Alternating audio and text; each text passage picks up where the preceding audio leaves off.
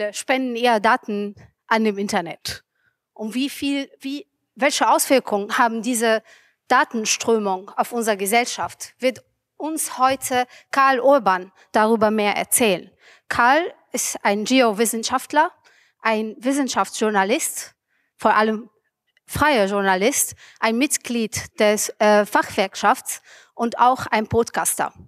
Er gewann im 2013 für seinen Blogpost, äh, für seinen Blogpost ähm, einen Preis der, des Highblogs des, äh, von Spektrum der äh, Wissenschaft. Ja, ich erstmal, äh, wir begrüßen ihn alle mit einem großen Applaus.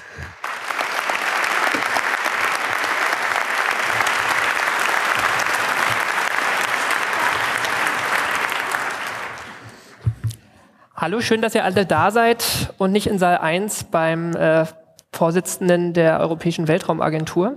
Freut mich sehr.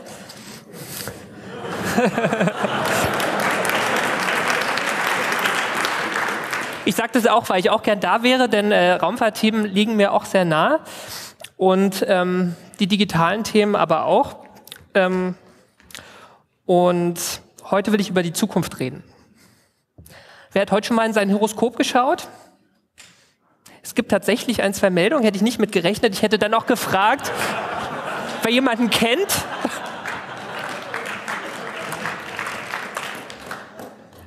Ja, wir leben ja in Zeiten, in denen Krankenkassen homöopathische Medikamente zahlen. Insofern sind solche Fragen durchaus legitim. Wer glaubt, dass wir die Zukunft vorhersehen können? Oder anders gefragt, dass wir sie vorher berechnen können? Ah, es gibt ein paar. 20, 30. Das ist mein Thema heute. Also ich möchte über Orakel 2.0 reden. Und äh, ganz zu Beginn ein Disclaimer.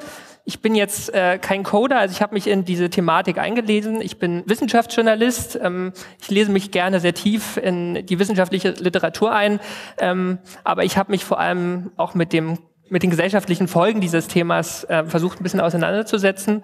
Und deswegen bin ich am Ende, wenn uns die Zeit reicht, auch äh, sehr dankbar über ähm, eure Gedanken zu dem Thema. Denn ähm, erschlagen werde ich das sicher nicht. Ähm, ein weiterer Disclaimer, Zukunft ist natürlich ein großes Wort und Vorhersage der Zukunft erst recht. Und letztlich ist sowas wie die Zukunft der Gesellschaft vorauszusagen ja auch nicht wirklich was Neues. Also es gibt ähm, in sehr großer Zeitskala sowas wie Klimamodelle, Technikfolgenabschätzung, wo man ja versucht, letztlich technologische Entwicklungen in die Zukunft zu ähm, fortzuschreiben. Es gibt auch sowas wie Wettervorhersage, was immerhin recht gut mittlerweile funktioniert, was auch äh, mit Daten und Modellen zu tun hat. Es gibt einen Bereich der Wettervorhersage, der funktioniert eigentlich fast gar nicht, nämlich die Gewittervorhersage. Das ist eigentlich nur im Bereich von Stunden möglich und äh, basiert überhaupt nicht auf Wettermodellen, sondern vor allem auf der Erfahrung von äh, Meteorologen, die ähm, Echtzeitkarten beobachten. Und die Big Data Vorhersage, mit der ich mich heute äh, oder über die ich heute sprechen möchte, ähm, bewegt sich auch in diesem Bereich von mehreren Stunden bis wenigen Tagen. Also ähm, kein Voodoo da, Monate, Jahre in der Zukunft, sondern sehr kurze Zeiträume. Wenn wir jetzt ein bisschen zurückschauen als erstes. Ja, also Orakel sind ähm, wahrscheinlich so alt wie die zivilisierte Menschheit, haben immer eine große Rolle gespielt. Ähm, letztlich wollte der Mensch immer, war der Mensch immer darauf angewiesen, in die Zukunft zu blicken, alleine zu verstehen, wie so der Jahresablauf funktioniert, wann Felder überflutet werden in den ersten Hochkulturen im Zweistromland. Äh, all das hat erfordert, dass man so ein bisschen in die Zukunft blicken kann ähm, und einfach so den natürlichen Ablauf der, ähm, der Jahreszeiten von Überflutungsereignissen ähm, zu kennen. Ähm, die Griechen, die antiken Griechen haben das dann ähm, ein bisschen in eine andere Richtung getrieben. Das äh, Orakel von Delphi ist ja sicher so das bekannteste griechische Orakel. Und das hat eigentlich Politik gemacht. Oder beziehungsweise sehr viele Herrscher der verschiedenen griechischen Stadtstaaten sind nach Delphi gezogen. Und das Orakel ähm, hat durchaus die auch mal gegeneinander aufgehetzt oder auch im eigenen Sinne ähm, die Mächtigen manipuliert mit Vorhersagen. Denn wer die Zukunft vorhersagt, kann sie natürlich auch verändern. Ich persönlich habe mich, wie gesagt, als Journalist eingelesen in das Thema äh, im Jahr 2011. Als frisch gebackener freier Wissenschaftsjournalist habe ich einen Artikel geschrieben über die ähm, EU-Flaggschiff-Initiative. Das war ein, ähm, eine Ausschreibung der EU-Kommission für ein großes europäisches Forschungsprojekt, was sozusagen ähm, kurz davor stehen sollte, ähm, einen großen Durchbruch ähm, hervorzurufen und da soll sozusagen die Führerschaft in Europa liegen, jetzt nicht ähm, an US-Unis oder in China. Und ähm, da haben sich sechs Projekte beworben, die auch in eine Zielrunde gekommen sind. Und eins dieser Projekte war Future ICT. Ist es am Ende nicht geworden. Also ihr wisst wahrscheinlich, das Graphen-Projekt und das Human Brain Project haben am Ende diese dieses Geld gekriegt oder die laufen jetzt und bekommen jetzt das Geld. Das ging da um eine Milliarde Euro über zehn Jahre. Also das ist für ein Forschungsprojekt eine ganze Menge. Ja. Aber wie gesagt, ich habe damals Future ICT vorgestellt, als das äh, Thema noch nicht ähm, oder die Entscheidung noch nicht getroffen gewesen ist. Und ähm, der Gedanke dahinter, der hat mir schon imponiert. Also so der Gedanke, wir haben diesen exponentiellen Datenberg, der Menschheit. Ja? Also jedes Jahr produzieren wir so viele Daten wie äh, von Anbeginn der Menschheit bis zum letzten Silvester produziert worden sind, machen wir jedes Jahr ja wieder neu.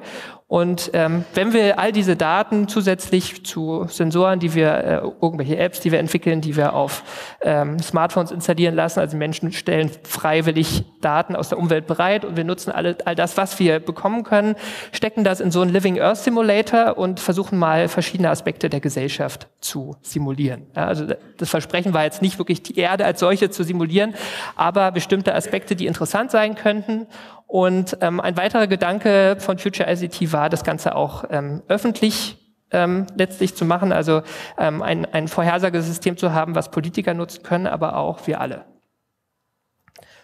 Dass es letztlich kein Herrschaftsinstrument ist, sondern transparent ist am Ende.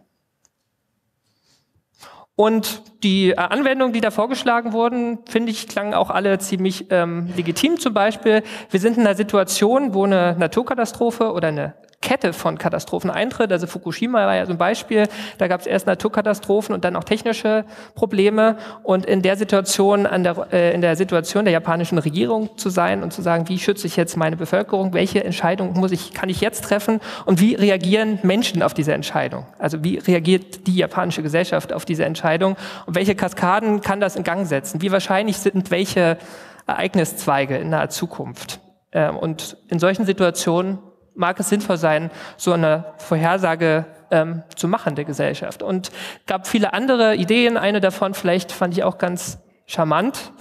Ähm, wenn ein Gesetz äh, verabschiedet wird im Parlament, ist ja immer die Frage, erreicht es das, was eigentlich die Autoren des Gesetzes erreichen wollten? Und auch das war so eine Idee, sozusagen jetzt einen längeren Zeitraum sich anzugucken und ähm, Gesetzes, äh, die, die, die Auswirkungen auf die Gesellschaft ähm, zu simulieren und zumindest so eine Spannbreite der nahen Zukunft sehen zu können.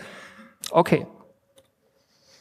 Und dann habe ich das Thema, wie gesagt, 2011 recherchiert und jetzt vor einem Jahr nochmal angefangen, ähm,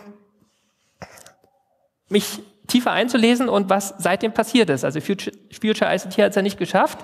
Ähm, das ist ist gegipfelt in einer Sendung für den Deutschlandfunk, einer halbstündigen Sendung, die jetzt im Oktober gesendet wurde. Und ähm, das, was ich da vorgestellt habe, das, da will ich jetzt kurz nochmal etwas größerer Tiefe reinschauen.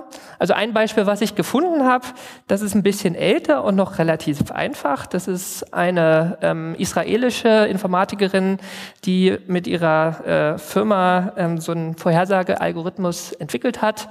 Letztlich einen selbstlernenden Algorithmus, der ähm, einfach nur das Nachrichtenarchiv der New York Times der letzten Jahrzehnte ähm, analysiert und darin ähm, Kausalität, nee, nicht, eben nicht Kausalitäten, sondern Korrelationen sucht, also äh, irgendwelche Ereignisfolgen, die statistisch ähm, häufiger auftreten als andere und dann ähm, die aktuelle Nachrichtenlage beobachtet und ähm, im Zweifel Echtzeitwarnungen ausgibt für politische Ereignisse. Ähm, das eine Beispiel, was Kira in ihrem TED-Talk hier von 2014 gebracht hat, ähm, war, es gab so eine komische Folge von Dürreereignissen in afrikanischen Staaten in dem Fall, ähm, wenige Jahre später von Überschwemmungen und dann gab es wieder wenige oder ein Jahr später ähm, eine Cholera-Epidemie, was nicht sonderlich überraschend ist, aber in dem Fall gab es so eine Warnung für Kuba und ähm, Kuba ist ein Land, wo es seit über 100 Jahren eigentlich keine Cholera mehr gegeben hatte. 2013 gab es tatsächlich eine große Cholera-Epidemie. Also war so ihr Positivbeispiel, dass ähm, diese Warnungen durchaus was bringen können. Ja, das war so ein, ein, kleines, äh, ein kleines Beispiel, ähm, wie sowas anfängt. Ja, dann gab es ja auch ähm, 2011 den arabischen Frühling. Ähm, wenn man nach Literatur zum Thema Arab Spring Social Media sucht, sieht man, das ist, äh, das wurde letztlich äh, sehr gut beforscht. Also es ist letztlich der perfekte Lerndatensatz gewesen, auch weil ja soziale Medien einfach auch ähm, eine entscheidende Rolle gespielt haben, dass sich Menschen zu Protesten verabreden können. Und ähm, ähm, genau, also da kann man wirklich in, in den Daten beobachten, ähm, wie, wie solche Proteste spontan entstehen. Und ja, ein bisschen weiterentwickeltes System ist Embers. Das ist ähm, an mehreren, also wird entwickelt von mehreren US-Universitäten. Ähm, die bekommen ihr Geld von ähm, der JARPA, das ist so eine Art ähm, Forschungsfinanzierer in den USA für Geheimdienstaufgaben. Äh, die ähm, Ausgaben, äh, die, die, ähm, die Ergebnisse, die man jetzt hier sieht, also das ist äh, für ähm, Proteste, die es in Venezuela gegeben hat. Und das soll hier zeigen, ja, da wo wir sie vorhergesagt haben, fast an allen Orten sind sie dann auch aufgetreten. Ähm, diese diese, diese ähm, Warnungen werden, also es gibt da auch Warnungen letztlich, die ausgegeben werden, die äh, werden aber nicht veröffentlicht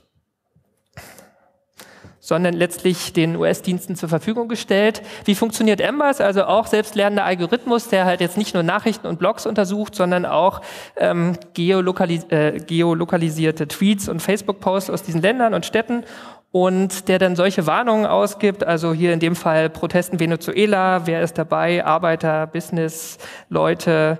Ähm, es gab schon vorher ähm, Warnungen diesbezüglich. Ähm, die Proteste, die es geben wird, sind statistisch signifikant, also deutlich stärker als das, was man vorher beobachtet hat und ähm, auch was, was die wollen. Ja? Also das ist das, was das Tool durch ähm, letztlich semantische Auswertungen von, von Texten, die gepostet werden, äh, macht und dann für die nahe Zukunft ausgibt, kann man sich ja auch logisch überlegen, also äh, es ist kein wirklicher Voodoo dabei, wenn jemand schreibt, ich gehe morgen auf eine Demonstration in einem Tweet, dann kann man dieses Morgen und Demonstration vielleicht noch den Ort natürlich rauslesen und ähm, wenn es viele Leute twittern, klar sagen, da wird es einen Protest geben. Also ist eigentlich auch noch einigermaßen primitiv.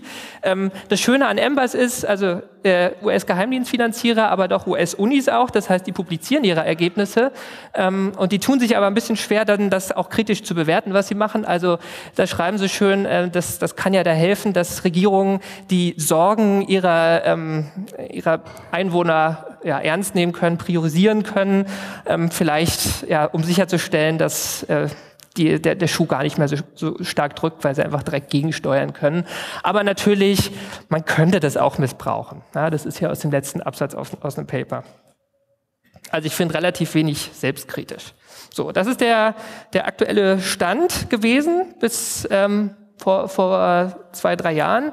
Ähm, letztlich ähm, brauchte man un unzensierten Zugriff auf ähm, soziale Netzwerke.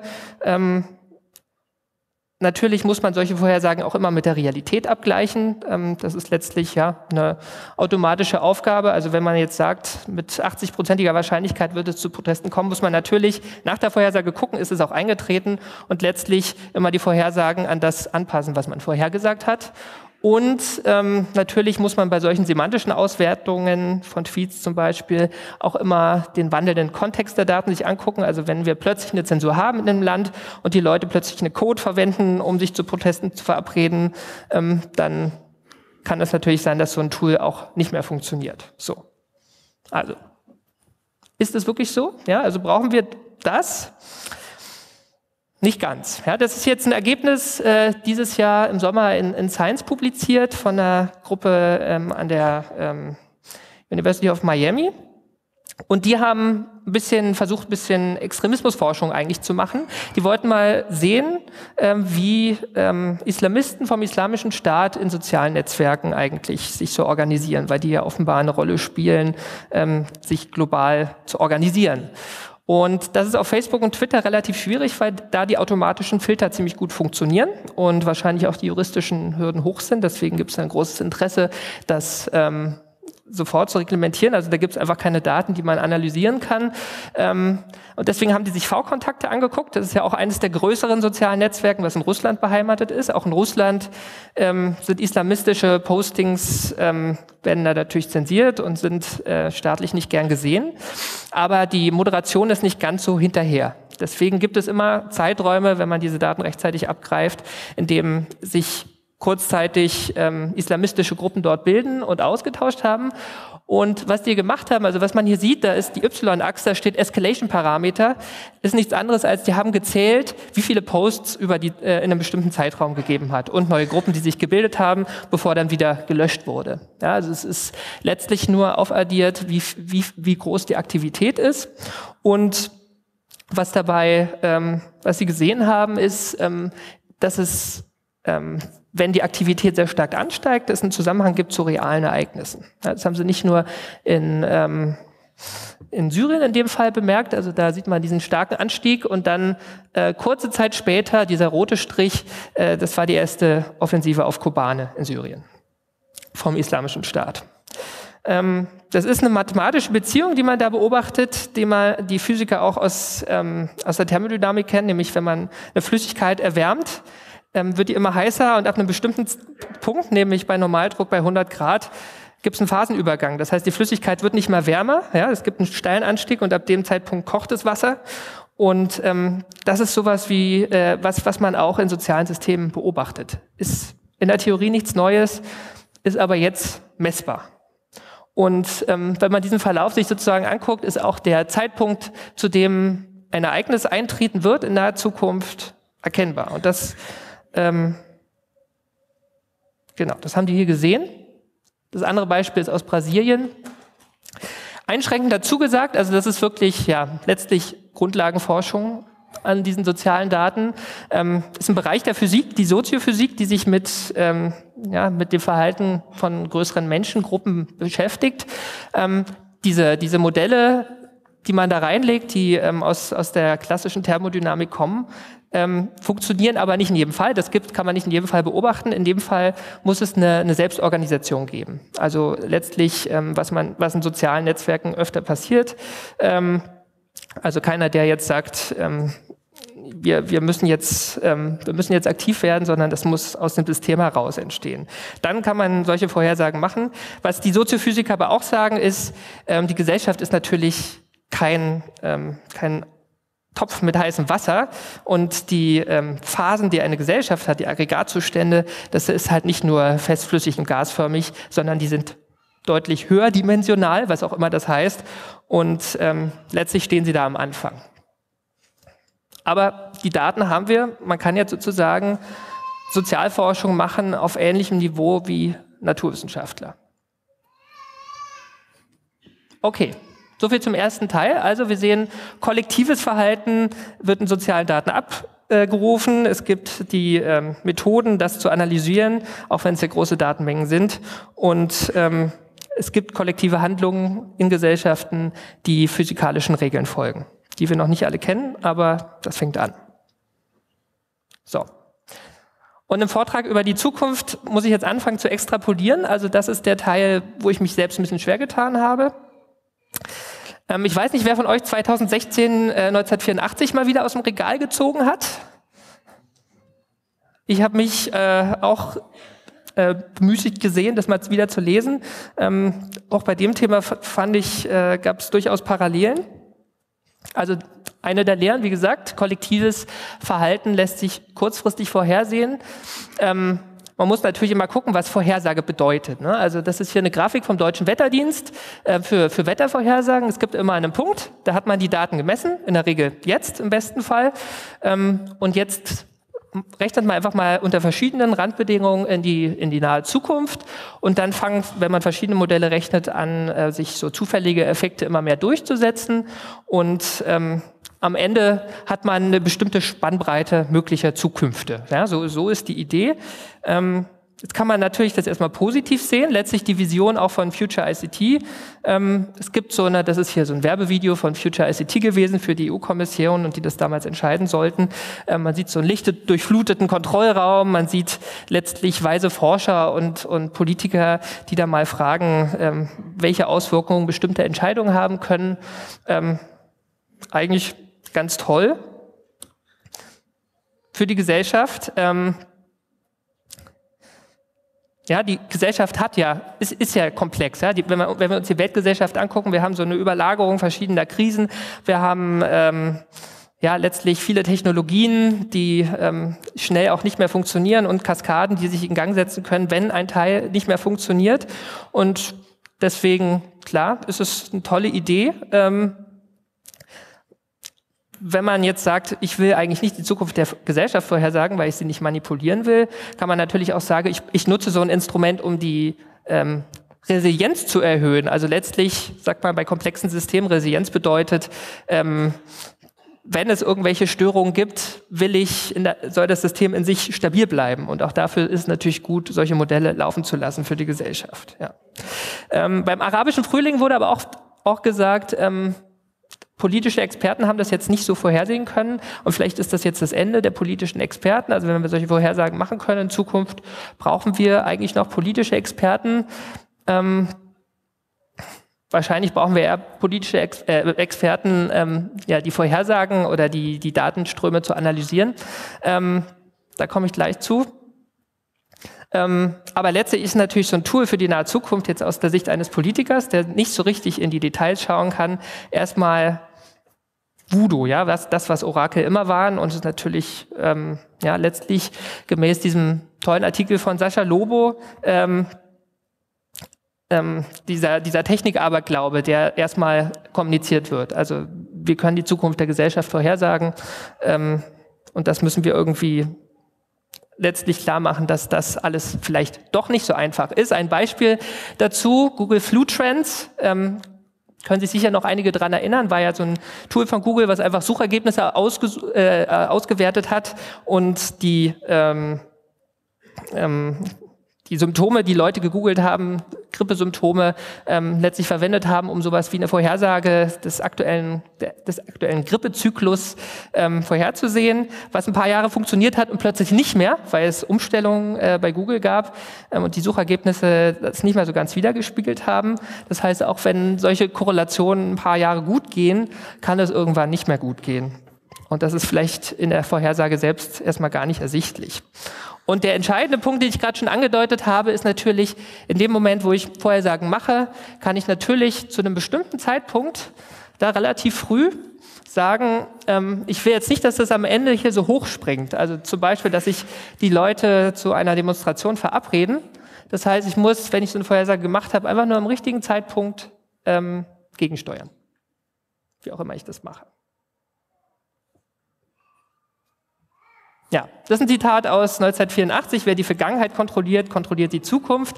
Was George Orwell nicht voraussehen konnte, letztlich ist, ähm, wir sind heute quasi in der Lage, die Gegenwart zu kontrollieren, indem ich zum Beispiel soziale Netzwerke ähm, manipuliere und es wird ja auch bereits gemacht, ist jetzt überhaupt nichts Neues. Ja, also wenn wir nach China gucken, das ist ein, äh, aus einem Paper von 2013, da haben ein paar US-Sozialforscher ähm, ähm, die chinesische Great Firewall und die ähm, die, die Maßnahmen der, Zensur, äh, der, der chinesischen Zensur sich angeguckt, kann man ja analysieren von außen und teilweise auch, die hatten auch Daten von innen.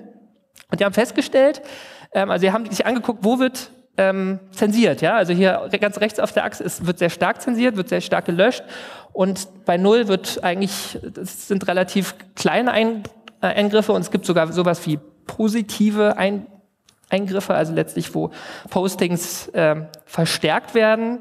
Ähm, und die schärfsten Zensur, die schärfste Zensur gab es gar nicht unbedingt in Momenten, wo Leute was gegen das Regime gesagt haben. Die hat man in der Regel einfach in Ruhe gelassen, sondern in dem Moment, wo sich Leute zu kollektiven ähm, Aktivitäten ähm, verabreden. Also gerade da, wo so eine soziale Dynamik in Gang kommen könnte, da wird ganz massiv eingegriffen. Ja, was ähm, in, im Fall von China zumindest im Jahr 2013 sicher noch sehr viel manuelle Arbeit hervorgerufen hat. Wir bewegen uns jetzt in, äh, in eine Richtung, wo sowas wahrscheinlich zunehmend automatisch funktionieren kann. Ähm, wie sieht es bei uns aus? Ähm, die Daten liegen ja letztlich überwiegend in ähm, privaten Händen, bei den sozialen Netzwerken zum Beispiel. Und ähm, es existiert aber gleichzeitig, das haben ja auch die, die Macher von Future ICT gesagt, ein sehr großes Interesse, solche politischen Vorhersagen der Gesellschaft zu machen. Und ähm, ja, diese, diese Artikel hier, ich habe gezeigt, dass die Bombe existiert, äh, dass es die Bombe gibt, ähm, ist ja hier im Kongress auch schon viel äh, zitiert worden, will ich jetzt nicht mehr viel zu sagen. Ähm, und auch wieder zerlegt worden. Also man muss natürlich äh, erstmal nach den ähm, Hinweisen gucken. Ähm, äh, die, die, gucken, ob die, ob die Belege existieren, dass letztlich ähm, es soziale Vorhersagen und soziale Beeinflussungen von außen gegeben haben könnte. Ähm, was, was man aber, wenn man jetzt nach Deutschland guckt, ähm, beobachten kann, ist ja tatsächlich, es gibt einen politischen Druck auf soziale Netzwerke. Unter dem Schlagwort ähm, Hate Speech, unter dem äh, Schlagwort Fake News und ähm, die Frage ist, ähm, wo es hinführt.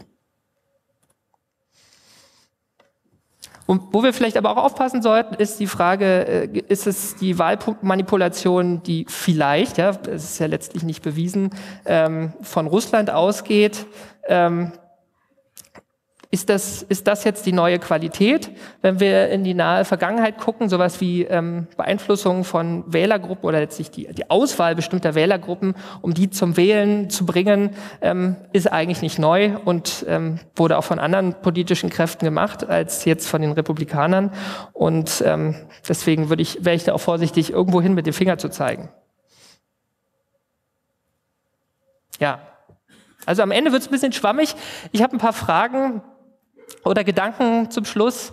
Ähm, soziale Vorhersagen, wer auch immer sie macht, sind letztlich ein Machtinstrument. Also wenn das ähm, ein, ein äh, Algorithmus für den US-Geheimdienst macht, ist es sicher auch ähm, eine, eine Möglichkeit, ähm, Wahlen in anderen Staaten zu beeinflussen. Und ähm, ja, letztlich ähm, wäre es wahrscheinlich eher an der Zeit, sobald sie aufkommen, wenn sie nicht schon existieren, Big Data Vorhersagen zu entzaubern und zu sagen, das ist ein Mittel, was wir nutzen können, aber ähm, letztlich müssen wir, müssen wir damit sehr aufpassen. Ähm,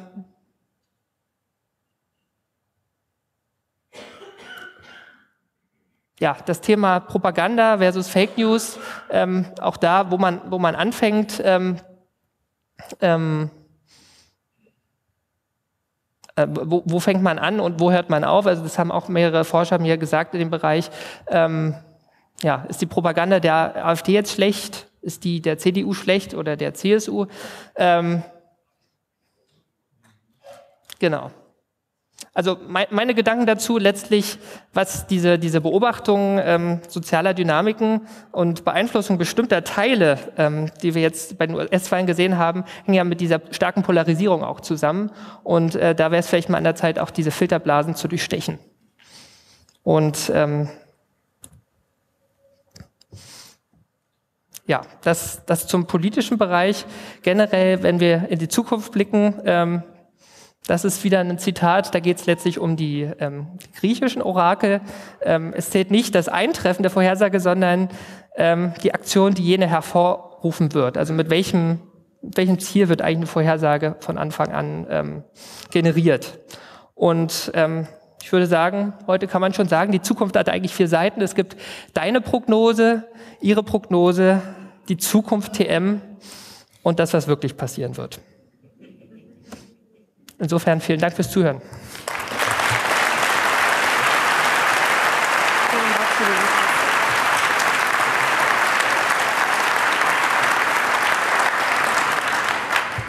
Vielen Dank für den interessanten äh, Vortrag. Äh, bitte für die Leute, die uns verlassen werden, möglichst von dieser Tür, von der rechten Seite. Ansonsten, wenn noch Fragen gibt, bitte zu dem Mikrofon. Ich sehe zwei. Wir fangen bei dir. Ja. Ja, ich wollte mal fragen, äh, kennst du eigentlich Project Laut. Cybersyn? Also wenn du Bitte das, das leise Foto, sein. Du hattest ja vorhin das Foto von diesem äh, Steuerraum von Future ICT. Das hat mich sehr erinnert an Project Cybersyn. Das war damals unter der Regierung von Allende in Chile. Die wollten so einen Sozialismus bauen, äh, basierend auf den technischen Möglichkeiten, die gerade so in den 70er Jahren aufkamen, mit Computern alles zu steuern und alles, sich alle Daten aus dem ganzen äh, Land in so eine Steuerzentrale übermitteln zu lassen, wo dann die Weisen sitzen, um dann die, das Land zu lenken. Also das vielleicht äh, so für dich als weiteren Rechercheansatz, weil das auch ein schöner historischer Vergleich ist dazu. Aber letztlich nicht mit digitalen Mitteln damals, oder? Wahrscheinlich. ne? Ja, gab es halt noch nicht so wirklich. Also es, da, da wurden Daten noch mit Telex übermittelt.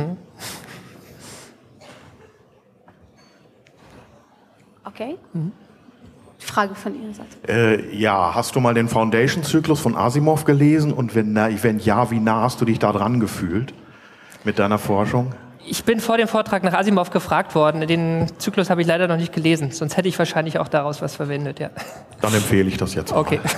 Vielen Dank. Vielen Dank nochmal. Ähm, ich denke, wir haben keine Zeit mehr für weitere Fragen. Vielen Dank.